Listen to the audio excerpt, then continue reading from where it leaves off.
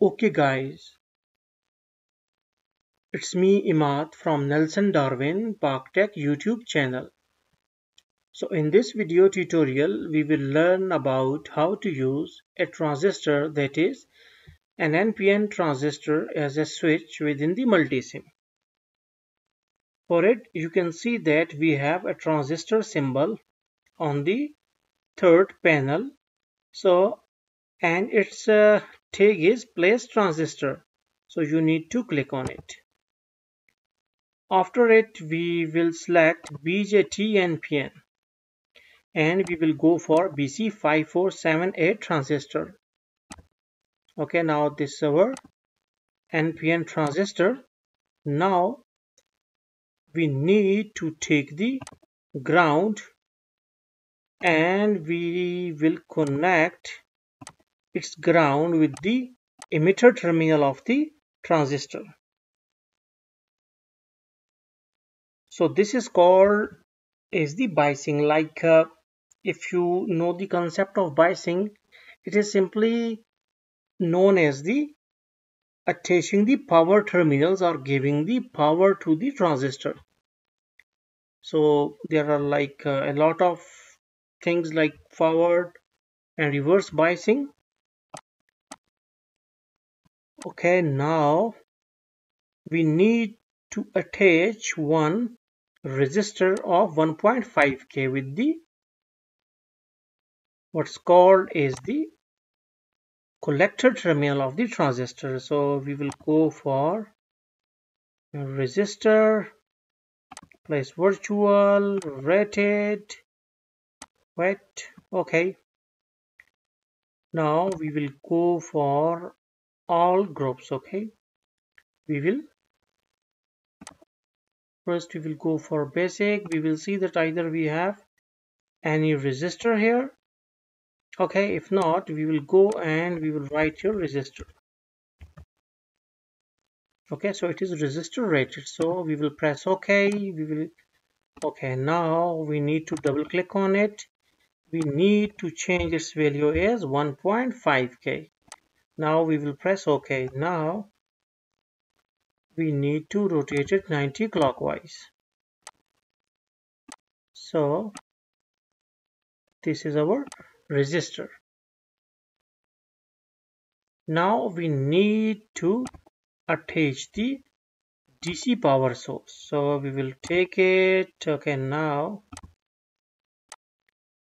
now we will rotate it counterclockwise and we will connect it like that. And the other end of the DC power supply with the ground. So this is like this okay?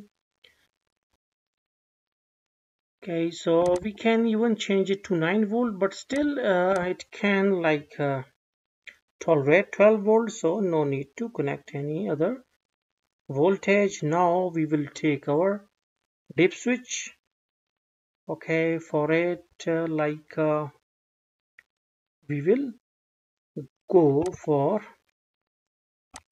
dip switch. Okay so basic and all groups.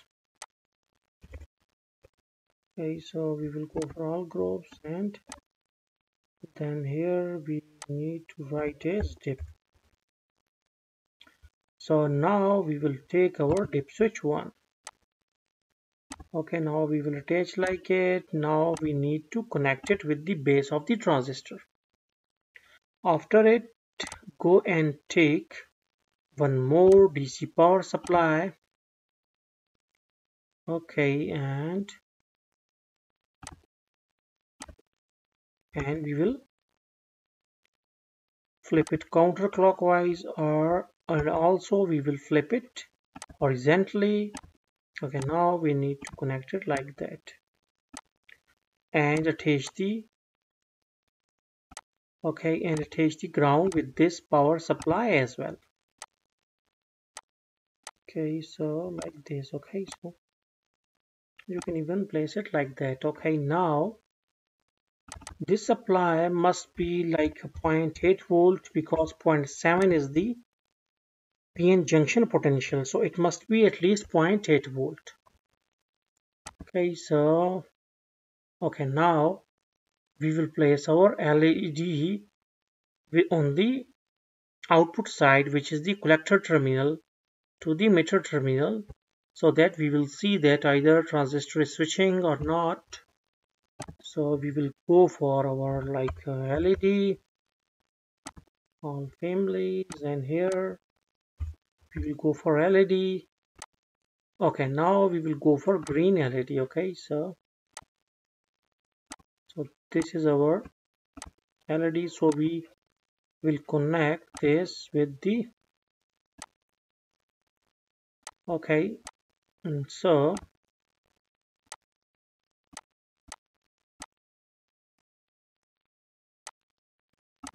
okay now we need to run it. Okay now we can see that whenever switch is off our LED is on. So we will press the switch so LED will become off. Although it is the control side and the LED side is they are actually isolated. A bit isolated we can say that. Not perfectly but one is the control side which is base to emitter and on the base so we can see that. And it apart from switch it also behaves like the uh, not gate like uh, when there is 0 on the base we are getting plus 1 logic or LED on on the output. So so this is our okay so this is our inverted switch or simply a switch on the what's called as the transistor. So hopefully you got this concept. So thanks for visiting our channel